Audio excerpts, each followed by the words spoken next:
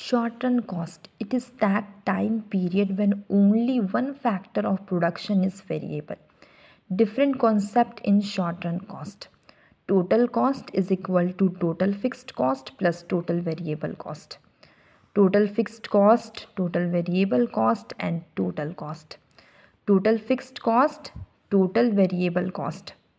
Total variable cost is um, Total variable cost is also known as prime cost or outlay cost. Marginal cost is addition to the total cost due to more unit of output. MC is equal to TCN minus TCN minus 1 or marginal cost is equal to change in TC upon change in Q or marginal cost is equal to differentiation of total cost marginal cost curve